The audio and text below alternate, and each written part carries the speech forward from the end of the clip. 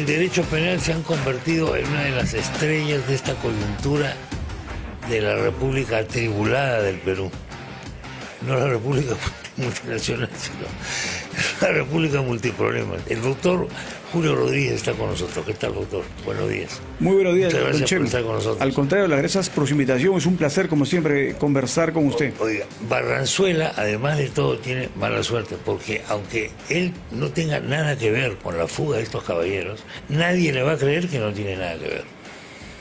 Bueno, eso se denomina técnicamente, don Chema, responsabilidad política. Exactamente. Eh, No, no le vamos a decir que él ha sido el autor mediato de la fuga de estos sujetos y por lo tanto él es penalmente responsable del delito de favorecimiento de fuga. Yo creo que ese es un despropósito.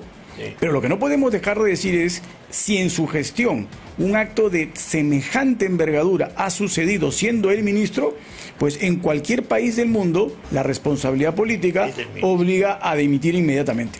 Lo que pasa es que en el Perú no nos gusta asumir responsabilidades. Nos lavamos las manos muy rápido. No le echamos la culpa al subordinado siempre, ¿no? O sea, eh, eh, Pero, pero Ay. aún cuando se haga eso, mire usted, se puede trasladar la responsabilidad funcional al subordinado. Claro. Pero la política es del ministro No, siempre. Eso siempre. Bueno, algún medio de prensa destacó que hubo mucha demora en poner a estos eh, personajes en la lista de los más buscados. ¿Es correcto esto? Bueno, eso es relativo, porque relativo, ¿no? sí, la lista de los más buscados lo único que ofrece, como ya se ha venido haciendo en otros casos, es recompensa, ¿no? De, de menor o, neve- o- o mayor nivel eh, de, de quantum económico, pero es recompensa. Lo que importa es que estén en la lista de personas que están requisitoriados. Eso es lo importante. Y por lo tanto, estas personas no podrían haber cruzado por ningún lugar del Perú que haya control migratorio. ¿Qué cosa es una requisitoria?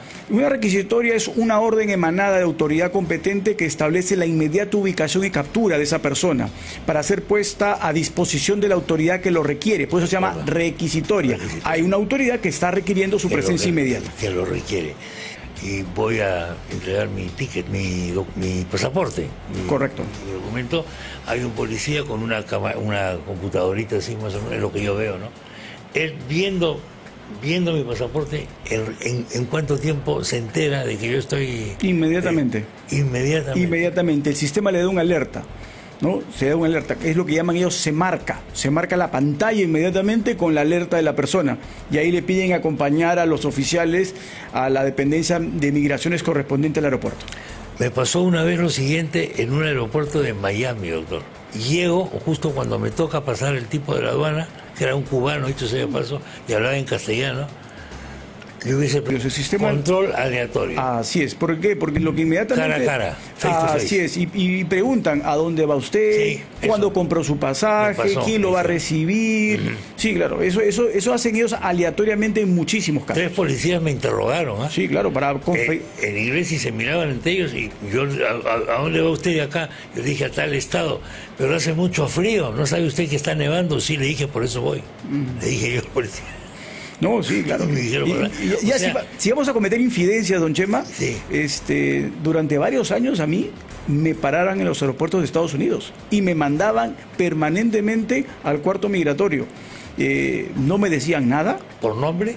no, así es. Después me uno al oficial. No le decían nada, Nada, ¿por por favor, usted siéntese acá, tenemos que hacer un control. Punto. A su madre. Pasaba, pasaba un buen rato hasta que un, un oficial de policía con el que me puse a, a conversar ahí en migraciones me acabó diciendo: Lo que pasa es que tú tienes una persona que coincide tu primer nombre y tus dos apellidos, y nosotros tenemos la obligación de hacer todo el cotejo. Esto se va hasta, hasta Langley, en Virginia, hasta que no nos den el ok, usted no se va a poder mover. Y le digo, ¿y cuándo, cómo soluciona eso? Bueno, usted no puede solucionarlo. O esa persona que está en nuestra lista, Langley, Virginia, que era el cuartel de la CIA. a- ¿O qué? a- a- o algo así. FBI. AFBI. Y ahí me dijeron, hasta que eso, esa persona o no muera o ca- acabe capturada, a usted siempre le pasará lo mismo. O sea, la idea que algunos tenemos o tienen de que yo me puedo escapar más o menos fácilmente, no, sé qué, no es tan fácil. No es tan fácil, salvo No que vaya a un país no cooperante. Ok. Ya, pero claro, en un país no cooperante también los derechos, las libertades, los principios están en un riesgo permanente. No ¿no? cooperantes tampoco. Ahora, eh, yo puedo pasar puedo cruzar la frontera por lugares esto eh, ilegales o si no hay control migratorio, así es. Exactamente. Ya, claro, ahí siempre hay también muchísimo más riesgo, porque estos supuestos lugares de control que son pasos libres, entre comillas, no son libres. Ahí hay personas que cobran cupos, ahí hay mafias organizadas. No se trata simplemente de yo me, me voy por la frontera a ver por dónde puedo cruzar. Así tampoco funciona eso también es un riesgo. Y hay personas que han optado por esos caminos y han desaparecido y nunca más se supieron de ello, porque acabaron en manos de bandas organizadas. también es, tiene este tipo de comportamientos eh, los riesgos correspondientes. Lo que tristemente ha sucedido en algunos casos en nuestro país es que las personas salen a vista y paciencia del control migratorio. Escogen controles migratorios que tienen filtros menos complejos. ¿Sobornables? Eh, yo creo que yo creo que en los últimos años eso se ha reducido enormemente. Mm, en cualquier parte del mundo puede haber actos de corrupción. En fronteras, esto es innegable, pero en el Perú creo que el trabajo de migraciones ha sido cada vez mejor, se han profesionalizado cada vez más y eso eh, en buena cuenta eh, ha generado menores casos de esta naturaleza, eh, lo que no significa que por algún lugar lamentablemente alguien pueda filtrarse por porque se genere el escenario ideal para ello establecida la orden judicial para, para estas personas, ¿qué debía haber hecho la autoridad política policial en, el país? inmediatamente dar el apoyo correspondiente a, la policía para que la policía eh, tenga la alerta eh, de que estas personas están prófugas de la justicia eh, y la policía hay que ser también sinceros las policías requisitorias sí. pues no es una policía improvisada.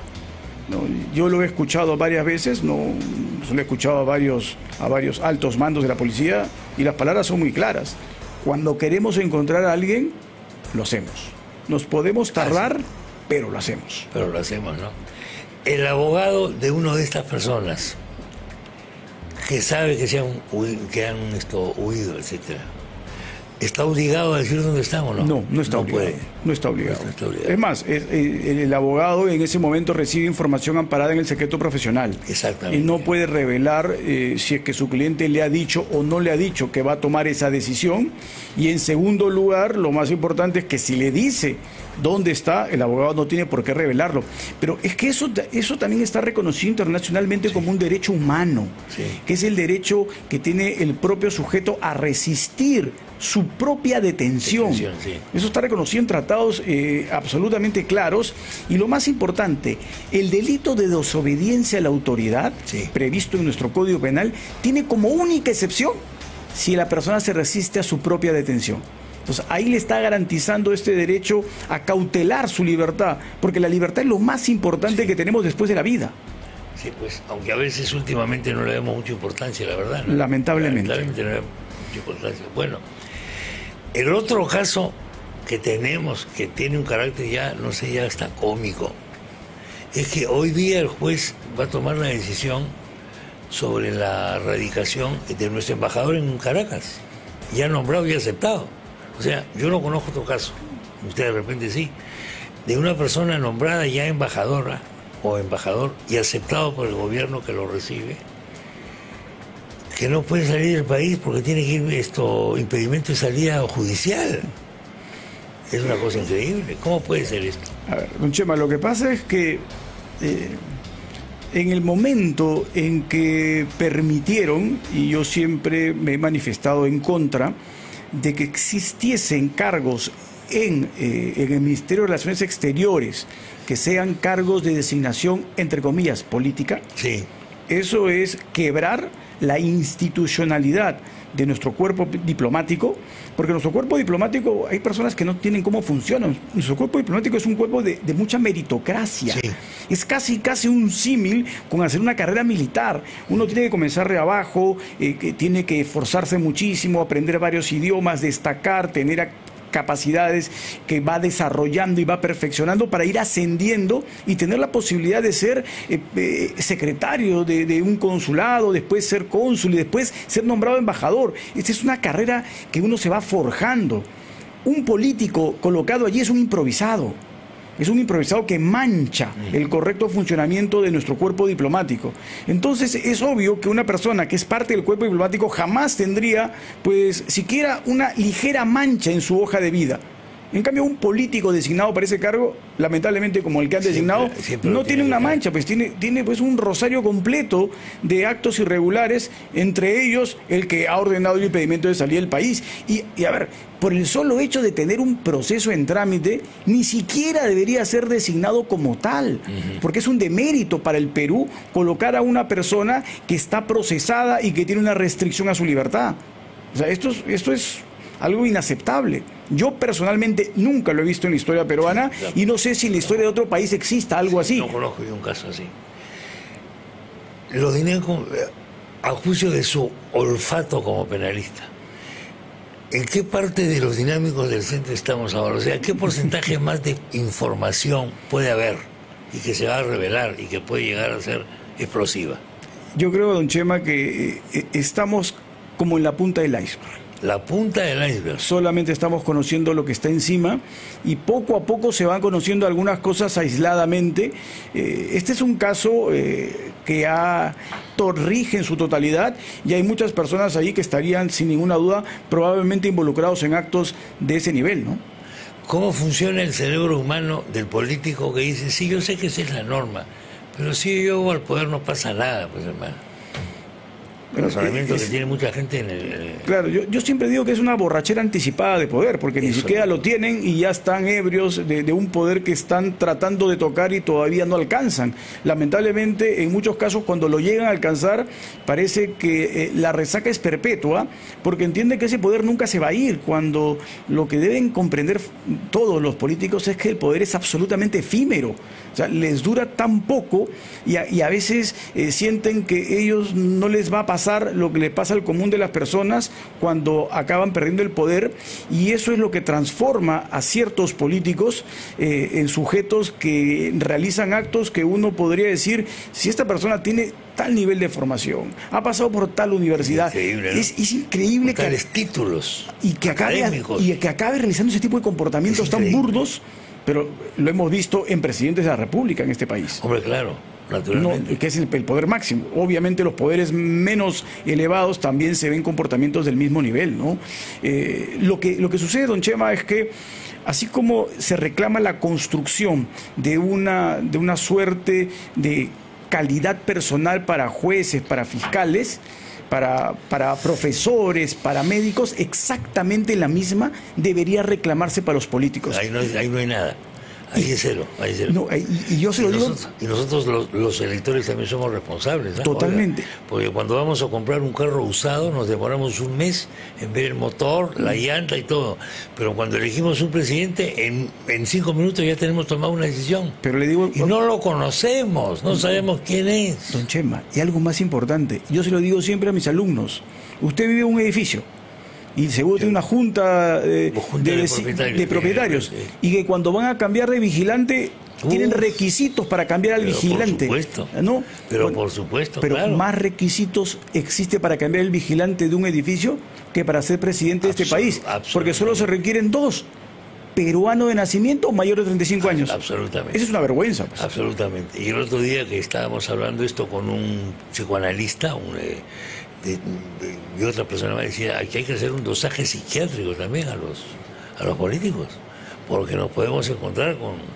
Por lo menos quiero saber a qué chimpancé le entrego la metralleta, que, con la que me va a matar, pero quiero conocerlo.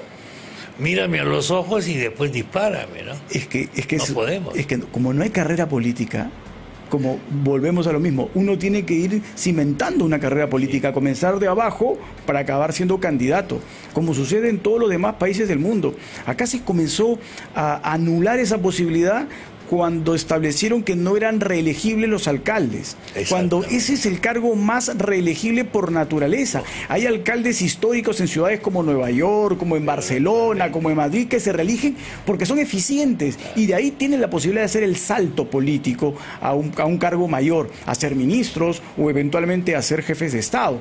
Pero es que uno tiene que formarse desde el nivel más elemental, más bajo, desde ser regidor, desde ser hasta, hasta miembro de la junta vecinal del barrio, para ir solventando una carrera política, porque lo que a veces se olvidan es que el político tiene que tener una vocación de servicio de servicio y el funcionario público, sea por elección o sea por designación, tiene que ser un servidor del Estado.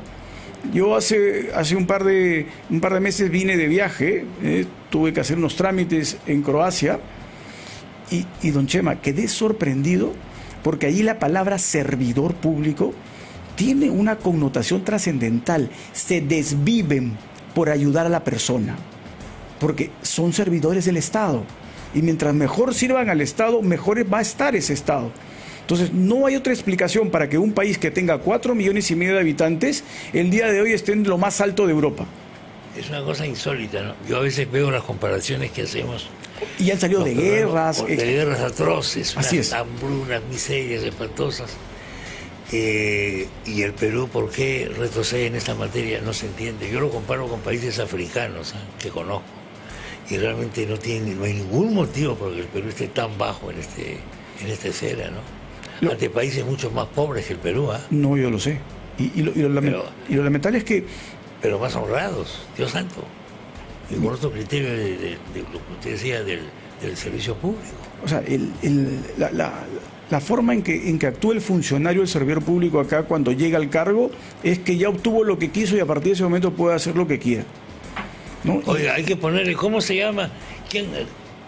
Todo tiene su final, chico, todo tiene su final. Hay que recordar esa canción a los a estos señores. La espiritualidad, no sé cómo clasificarlo, personifica a la nación. Sí, claro. Personifica a la nación. Usted puede, por ejemplo, como abogado, personificar a la justicia. De ninguna manera. No puede personificar a la justicia. ¿Quién va a personificar a la justicia? Pero acá sí tenemos el Estado personificado. Parece el, el cuerpo místico de algo este caballero. Es que tiene no digo este caballero, los presidentes. Todos los presidentes, así es.